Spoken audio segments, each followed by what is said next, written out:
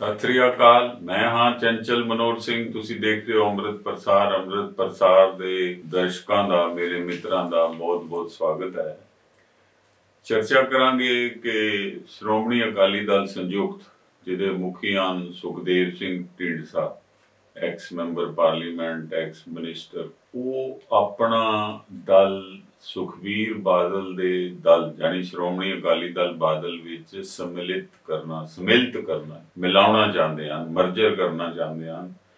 ਪਰ ਉਸ ਦੀ ਬੜੀ ਵਿਰੋਧਤਾ ਪਾਰਟੀ ਦੇ ਅੰਦਰੋਂ ਹੋ ਰਹੀ ਹੈ। ਅਤੇ ਹੁਣ ਆਖਰੀ ਫੈਸਲਾ ਜੋ ਹੈ, ਉਹ 15 ਫਰਵਰੀ ਦੇ ਆਸ-ਪਾਸ ਹੋਣ ਵਾਲਾ ਹੈ। ਇਹ ਨਿਸ਼ਚਿਤ ਹੈ ਕਿ ਸੁਖਦੀਪ ਸਿੰਘ ਢੀਂਡਸਾ ਆਪਣੇ ਸੰਯੁਕਤ ਅਕਾਲੀ ਦਲ ਨੂੰ ਸ਼੍ਰੋਮਣੀ ਅਕਾਲੀ ਦਲ ਵਿੱਚ ਮਰਜ ਕਰ ਦੇਣਗੇ, ਕਿਉਂਕਿ ਉਹਨਾਂ ਤੋਂ ਬਾਅਦ ਉਹਨਾਂ ਦੇ ਬੱਚੇ ਦਾ ਵੀ ਕੈਰੀਅਰ ਦਾ ਸਵਾਲ ਹੈ। ਤੋਂ ਇਸ ਕਰਕੇ ਉਹਨਾਂ ਨੇ ਇਹ ਫੈਸਲਾ ਲਿਆ ਕਿ ਵੀ ਇਸ ਨੂੰ ਉਸ ਵਿੱਚ ਮਰਜ ਕਰ ਦਿੱਤਾ ਜਾਏ ਅਪੇਦ ਕਰਤਾ ਜਾਏ। ਸਵਾਲ ਹੈ ਕਿ ਉਹ ਅਜਿਹਾ ਕਿਉਂ ਕਰ ਰਿਹਾ? ਕਿਉਂਕਿ ਜਦੋਂ ਉਹਨਾਂ ਨੇ ਦੇਖਿਆ ਕਿ ਉਹਨਾਂ ਦਾ ਕੋਈ ਪੈਰ ਤਾਂ ਲੱਗੇ ਨਹੀਂ, ਸਿਆਸਤ ਉਸ ਤੋਂ ਬਾਅਦ ਕੋਈ ਸੀਟ ਵੀ ਨਹੀਂ ਦਿੱਤੀ, ਜ਼ਮਾਨਤਾਂ ਵੀ, ਅਸੈਂਬਲੀ ਸੀਟ ਵਿੱਚ ਜ਼ਬਤ ਹੋ ਗਿਆ ਬੜਾ ਆਸ਼ੀਰਵਾਦ ਦਿੱਤਾ ਸੀ ਉਹਨਾਂ ਨੂੰ ਦੇਸ਼ ਦੇ ਪ੍ਰਾਈਮ ਮਿਨਿਸਟਰ ਨਰਿੰਦਰ ਮੋਦੀ ਜੀ ਨੇ। ਤੇ ਉਹਨਾਂ ਦੇ ਕਹਿਣ ਤੇ ਤੇ ਕੈਪਟਨ ਅਮਰਿੰਦਰ ਸਿੰਘ ਸਾਬਕਾ ਮੁੱਖ ਮੰਤਰੀ ਦੇ ਨਾਲ ਰਲ ਕੇ ਉਹਨਾਂ ਨੇ ਪੰਜਾਬ ਵਿੱਚ ਚੋਣਾਂ ਲੜੀਆਂ, ਜਿਸ ਵਿੱਚ ਦੋਨਾਂ ਦੇ ਮੂੰਹ, ਹਾਰ ਦਾ ਮੂੰਹ ਦੇਖਣਾ ਪਿਆ। ਸੁਖਦੇਵ ਸਿੰਘ ਢੀਡਸੇ ਦਾ ਵੀ ਕੋਈ ਮੈਂਬਰ ਨਹੀਂ ਜਿੱਤਿਆ। ਜਮਾਨਤਾਂ ਜ਼ਬਤ ਹੋ ਗਈਆਂ। ਇਸੇ ਪ੍ਰਕਾਰ ਕੈਪਟਨ ਅਮਰਿੰਦਰ ਸਿੰਘ ਦੇ ਵੀ ਜਿਹੜੇ ਕੈਂਡੀਡੇਟ ਖੜੇ ਕੀਤੇ ਸਨ, ਉਹਨਾਂ ਦੀਆਂ ਵੀ ਜਮਾਨਤਾਂ ਜ਼ਬਤ ਹੋਈਆਂ ਔਰ ਕੈਪਟਨ ਅਮਰਿੰਦਰ ਸਿੰਘ ਵੀ ਚੋਣਾਂ ਹਾਰ ਗਏ। ਹੁਣ ਇਹ ਜੋ ਨਵਾਂ ਮੂਡ ਬਣਾਇਆ ਸੁਖਦੇਵ ਸਿੰਘ ਢੀਂਡਸਾ ਨੇ।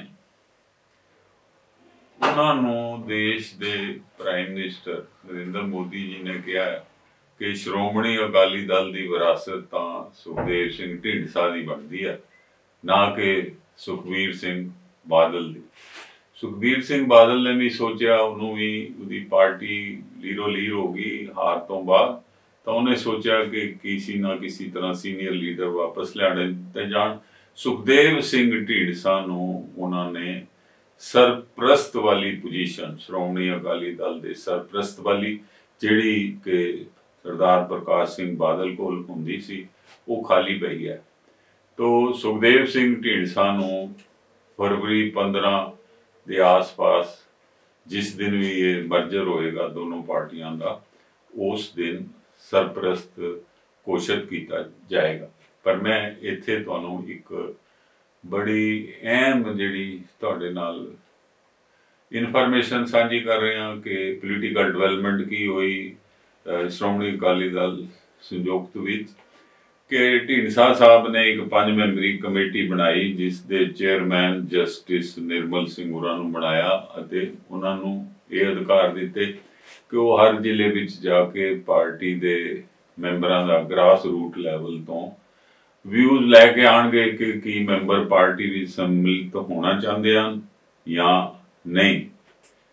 ਉਹ ਤੁਹਾਨੂੰ ਇਹ ਦਸੀਏ ਕਿ ਜਿੱਥੇ ਪਹਿਲੀ ਵਿਰੋਧਤਾ ਹਰਜੀਤ ਕੌਰ ਤਲਵੰਡੀ, ਜੋ ਕਿ ਸਾਬਕਾ ਐਮਪੀ ਸ਼੍ਰੋਮਣੀ ਅਕਾਲੀ ਦਲ ਪ੍ਰਧਾਨ ਜਗਦੇਵ ਸਿੰਘ ਤਲਵੰਡੀ ਦੀ ਸਬੂਤਰੀਆਂ ਉਹਨਾਂ ਨੇ ਬੜਾ ਵਿਰੋਧ ਕੀਤਾ ਕਿ ਪਾਰਟੀ ਨੂੰ ਸੁਖਬੀਰ ਬਾਦਲ ਦੀ ਪਾਰਟੀ ਨਾਲ ਮਰਜਰ ਨਹੀਂ ਕਰਨੀ ਚਾਹੀਦੀ। ਇਸੇ ਤਰ੍ਹਾਂ ਹੀ ਪਰਮਜੀਤ ਕੌਰ ਗੁਲਸ਼ਨ ਜੋ ਐਮਪੀ ਵੀ ਰਹਿ ਚੁੱਕੇ ਹਨ, ਉਹਨਾਂ ਦੇ ਪਿਤਾ ਜੀ ਤਨਾ ਸਿੰਘ ਜੀ ਗੁਲਸ਼ਨ ਜੋ ਕਿ ਐਜੂਕੇਸ਼ਨ ਮਿਨਿਸਟਰ ਵੀ ਕੇਂਦਰ ਵਿੱਚ ਰਹੇ ਹਨ, ਉਹਨਾਂ ਨੇ ਵੀ ਵਿਰੋਧ ਕੀਤਾ। ਇਸੇ ਤਰ੍ਹਾਂ ਮੋਕਮ ਸਿੰਘ ਦਮਦਮੀ ਟਕਸਾਲ ਵਾਲਿਆਂ ਨੇ।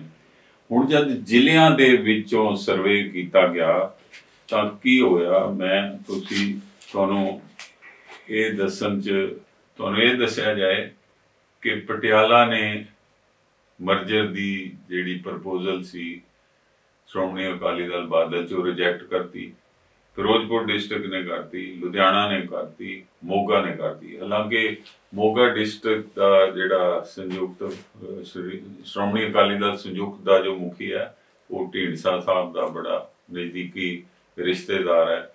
ਪਰ ਉਹਨਾਂ ਨੇ ਵੀ ਨਾ ਕਰਤੀ। ਇਸੇ ਪ੍ਰਕਾਰ ਕਈ ਹੋਰ ਡਿਸਟ੍ਰਿਕਾਂ ਚੋਂ ਵੀ ਨਾ ਹੋ ਗਿਆ। ਹੁਣ ਸਿਰਫ ਦੋ ਡਿਸਟ੍ਰਿਕਟ ਰਹਿ ਗਿਆ। ਇੱਕ ਸ਼ਾਇਦ ਅੰਮ੍ਰਿਤਸਰ ਤੇ ਖੰਡੂਰ ਸਾਹਿਬ, ਜਿੱਥੇ ਇਹ ਪੰਜ ਮੈਂਬਰੀ ਕਮੇਟੀ ਨੇ ਜਾ ਕੇ ਉੱਥੋਂ ਦੇ ਵਿਊਜ਼ ਲੈ ਕੇ ਆਣੇ ਸੋ ਵਿਊਜ਼ ਕੁਝ ਵੀ ਹੋਣ, ਢੀਂਡਸਾ ਸਾਹਿਬ ਨੇ ਮਰਜਰ ਦੀ ਪੂਰੀ ਤਿਆਰੀ ਕੀਤੀ ਹੋਈ। ਜਸਟਿਸ ਸਾਹਿਬ ਨੇ ਜੋ ਕਮੇਟੀ ਦੇ ਪ੍ਰਧਾਨ ਸੀਗੇ, ਨਿਰਮਲ, ਜਸਟਿਸ ਨਿਰਮਲ ਸਿੰਘ ਜੀ, ਉਹਨਾਂ ਦੀ ਧਰਮ ਪਤਨੀ ਨੇ ਤੇ ਬਹੁਤ ਸਖਤ ਵਿਰੋਧ ਕੀਤਾ, ਗੁਲਸ਼ਨ ਜੀ ਨੇ। ਸੋ ਹੁਣ ਕੋਸ਼ਿਸ਼ ਇਹ ਹੋ ਰਹੀ ਹੈ ਕਿ ਕਿਸੇ ਤਰ੍ਹਾਂ ਜਸਟਿਸ ਨਿਰਮਲ ਸਿੰਘ ਜੀ ਨੂੰ ਵੀ ਮਨਾ ਲਿਆ ਜਾਏ। ਜਸਟਿਸ ਨਿਰਮਲ ਸਿੰਘ ਜੀ ਨੇ ਕੁਝ ਮੀਟਿੰਗਾਂ ਅਟੈਂਡ ਕੀਤੀਆਂ, ਕੁਝ ਨਹੀਂ ਕੀਤੀਆਂ, ਸੋ ਕਈ ਡਿਸਟ੍ਰਿਕਾਂ 'ਚ ਗਏ, ਇੱਕ ਲੰਬਾ ਪ੍ਰੋਸੈਸ ਸੀਗਾ, ਕਈ 'ਚੋਂ ਨਹੀਂ। ਹੁਣ, ਇਹ ਬਿਲਕੁਲ ਸਪਸ਼ਟ ਹੈ ਕਿ ਸ਼੍ਰੋਮਣੀ ਅਕਾਲੀ ਦਲ ਸੰਯੁਕਤ ਵਿੱਚ ਸਿੱਧੀ ਸਪਲਿਟ ਹੋਏਗੀ ਔਰ ਸੰਗਰੂਰ ਡਿਸਟ੍ਰਿਕਟ ਤੇ ਬਰਨਾਲਾ ਡਿਸਟ੍ਰਿਕਟ ਦੇ ਬਹੁਤੇ ਜਿਹੜੇ ਮੈਂਬਰ ਹਨ, ਇਸ ਢੀਂਡਸਾ ਦੀ ਪਾਰਟੀ ਦੇ। ਉਹ ਕਿਉਂਕਿ ਉਹਨਾਂ ਦੇ ਆਪਣਾ ਡਿਸਟ੍ਰਿਕਟ ਹੈ, ਕਈ ਸਾਲਾਂ ਤੋਂ ਉੱਥੇ ਉਹਨਾਂ ਨੇ ਚੋਣਾਂ ਲੜੀਆਂ, ਮੈਂਬਰ ਪਾਰਲੀਮੈਂਟ ਵੀ ਰਹੇ ਅਤੇ ਕਈ ਵਾਰੀ ਉਹਨਾਂ ਨੇ ਉਹ ਸੰਗਰੂਰ ਸੀਟ ਜਿੱਤੀ। ਸੋ ਪਰਮਿੰਦਰ ਸਿੰਘ ਢੀਂਡਸਾ ਜੋ ਕਿ ਸਾਬਕਾ ਮੰਤਰੀ ਹਨ ਅਤੇ ਦੋ ਵਾਰੀ ਐਮਐਲਏ ਵੀ ਰਹੇ ਹਨ। ਸੋ ਉਹਨਾਂ ਨੇ ਆਪਣੇ ਪਿਤਾ ਜੀ ਦੇ ਨਾਲ ਹੀ ਇਹ ਪਾਰਟੀ ਛੱਡੀ ਸੀ ਸੁਖਦੀਪ ਸਿੰਘ ਢੀਂਡਸਾ ਜੀ ਦੇ ਤੇ ਉਹ ਵੀ ਹੁਣ ਪਾਰਟੀ ਵਿੱਚ ਸਥਾਪਿਤ ਕਰਨ ਲਈ ਉਹਨਾਂ ਦੇ ਪਿਓ ਕੈਰੀਅਰ ਪੋਲੀਟੀਕਲ ਨੂੰ ਦੇਖਦੇ ਹੋਏ ਢੀਂਡਸਾ ਸਾਹਿਬ ਨੇ ਇਹ ਫੈਸਲਾ ਲਿਆ। ਚਾਹੇ ਪਾਰਟੀ ਸਪਲਿਟ ਹੋ ਜਾਏ, ਉਹਨਾਂ ਨੂੰ ਇਸ ਗੱਲ ਦੀ ਕੋਈ ਪਰਵਾਹ ਨਹੀਂ। ਤੋਂ 15 ਫਰਵਰੀ ਦੇ ਆਸ-ਪਾਸ, ਕਿਉਂਕਿ ਸੁਖਬੀਰ ਬਾਦਲ ਦਿੱਲੀ ਗਏ ਹੋਏ ਹਨ ਅਤੇ ਸੁਖਬੀਰ ਬਾਦਲ ਦਾ ਦਿੱਲੀ ਬੀਜੇਪੀ ਨਾਲ ਜੋ ਆਉਣ ਵਾਲੀਆਂ 2024 ਦੀਆਂ ਪਾਰਲੀਮੈਂਟ ਦੀਆਂ ਚੋਣਾਂ, ਉਹਨਾਂ ਵਿੱਚ ਜੋ ਇੱਕ ਅਲਾਈਅੰਸ ਵਜੋਂ ਉਹਨਾਂ ਨੇ ਇਲੈਕਸ਼ਨਾਂ ਲੜਨ ਦਾ ਫੈਸਲਾ ਕੀਤਾ। ਸੁਖਬੀਰ ਬਾਦਲ ਤਾਂ ਬੜੀ ਦੇਰ ਦੇ ਚਾਹੁੰਦੇ ਸੀ ਕਿ ਵੀ ਬੀਜੇਪੀ ਉਹਨਾਂ ਨੂੰ ਦਾਣਾ ਪਾਏ ਤੇ ਉਹ ਬੀਜੇਪੀ ਉਹਨਾਂ ਨਾਲ ਅਲਾਈਅੰਸ ਕਰੇ, ਕਿਉਂਕਿ ਉਹਨਾਂ ਦੀ ਪਾਰਟੀ ਦਾ ਜੋ ਬੜੀ ਸਾਖ ਗਿਰ ਚੁੱਕੀ ਹੈ। ਸੁਖਬੀਰ ਬਾਦਲ ਦੀ ਆਪਣੀ ਵੀ ਸਾਖ ਬੜੀ ਗਿਰ ਚੁੱਕੀ ਹੈ। ਸਿੱਖ ਸੰਗਤਾਂ ਵਿੱਚ, ਸਿੱਖ ਵੋਟਰਾਂ ਵਿੱਚ, ਸਿੱਖ ਸਮੁਦਾਇ ਵਿੱਚ। ਸੋ ਉਹਨਾਂ ਨੂੰ ਸਾਰੇ ਦੀ ਲੋੜ ਸੀ, ਪਰ ਬੀਜੇਪੀ ਉਹਨਾਂ ਨੂੰ ਹੱਥ ਨਹੀਂ ਸੀ ਫੜਾ ਰਹੀ। ਪਰ ਜਦੋਂ ਹੁਣ ਬੀਜੇਪੀ ਨੂੰ ਇਹ ਦੇਖਿਆ ਕਿ ਉਹਨਾਂ ਦੇ ਪ੍ਰਾਈਮ ਮਿਨਿਸਟਰ ਦਾ 272 ਸੀਟਾਂ ਦਾ ਜਿਹੜਾ ਟੀਚਾ ਉਹ ਪ੍ਰਾਪਤ ਕਰਨਾ ਸਰਕਾਰ ਬਣਾਉਣ ਲਈ ਵੀ ਮੁਸ਼ਕਲ ਹੋ ਰਿਹਾ, ਤਾਂ ਉਹ ਇੱਕ ਇੱਕ ਸੀਟ ਲਈ ਜਿਹੜੇ ਕੋਸ਼ਿਸ਼ ਕਰ ਰਹੇ ਨਾ ਥੋਨਾ ਗੁਜਾਈ ਜਾਏ, ਤਾਂ ਫਿਰ ਉਹਨਾਂ ਨੂੰ ਜਿਹੜਾ ਸਹਾਰਾ ਲੱਭਿਆ। ਉਹ ਸੁਖਬੀਰ ਬਾਦਲ ਚ ਲੱਭਿਆ। ਉਹਨਾਂ ਨੂੰ ਉਮੀਦ ਹੈ ਕਿ ਸ਼੍ਰੋਮਣੀ ਅਕਾਲੀ ਦਲ ਬਾਦਲ ਨਾਲ ਅਲਾਈਅੰਸ ਕਰਕੇ ਬੀਜੇਪੀ ਸ਼ਾਇਦ ਪੰਜਾਬ ਚੋਂ ਕੁਝ ਸੀਟਾਂ ਜਿੱਤ ਜਾਏਗੀ। ਚਾਰ ਸੀਟਾਂ ਮੰਗੀਆਂ ਉਹਨਾਂ ਨੇ। ਕਿੰਨੀਆਂ ਤੇ ਫੈਸਲਾ ਹੁੰਦਾ ਹੈ ਹਲੇ ਕੁਝ ਨਹੀਂ ਪਤਾ।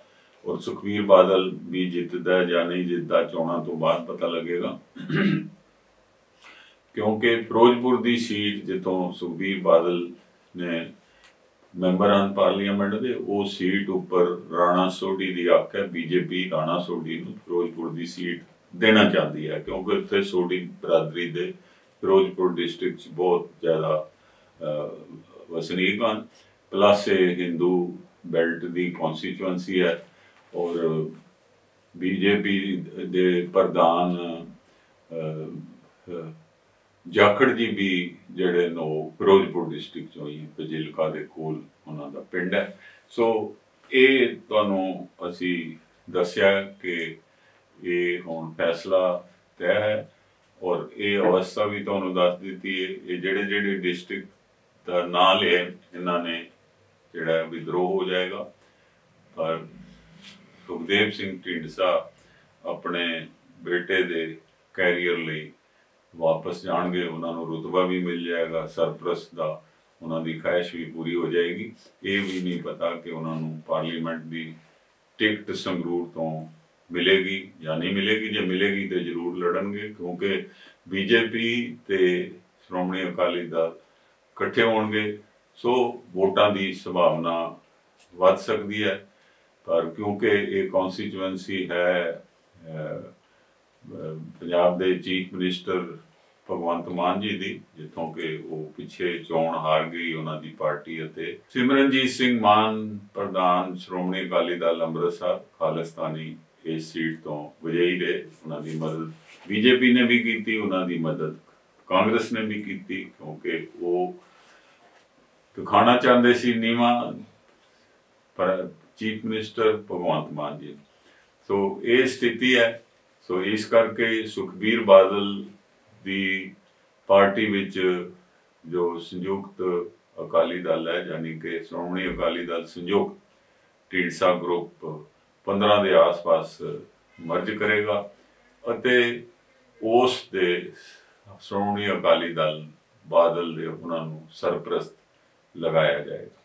ਸੋ ਇਹ ਹੈ ਨਵੀਂ ਸਿਆਸਤ ਦੀ ਡਿਵੈਲਪਮੈਂਟ ਪੰਜਾਬ ਦੀ, ਕਿਉਂਕਿ ਇਸ ਮਰਜਰ ਨਾਲ ਸ਼੍ਰੋਮਣੀ ਅਕਾਲੀ ਦਲ ਬਾਦਲ ਨੂੰ ਸ਼ਕਤੀ ਮਿਲੇਗੀ, ਬਲ ਮਿਲੇਗੀ, ਕਿਉਂਕਿ ਵਰਕਰ ਤੇ ਮਿਲਣਗੇ ਕਿਉਂਕਿ ਸਰਮਰੂਰ ਡਿਸਟ੍ਰਿਕਟ ਸਾਰਾ ਜਾਏਗਾ, ਨਾਲ ਬਰਨਾਲਾ ਡਿਸਟ੍ਰਿਕਟ ਵੀ ਜਾ ਰਿਹਾ।